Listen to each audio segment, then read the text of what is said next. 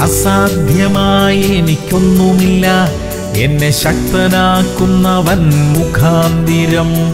ബുദ്ധിക്കതീതമത്യത്ഭുതങ്ങളാൽ എന്റെ ദൈവം എന്നെ നടത്തുന്നു.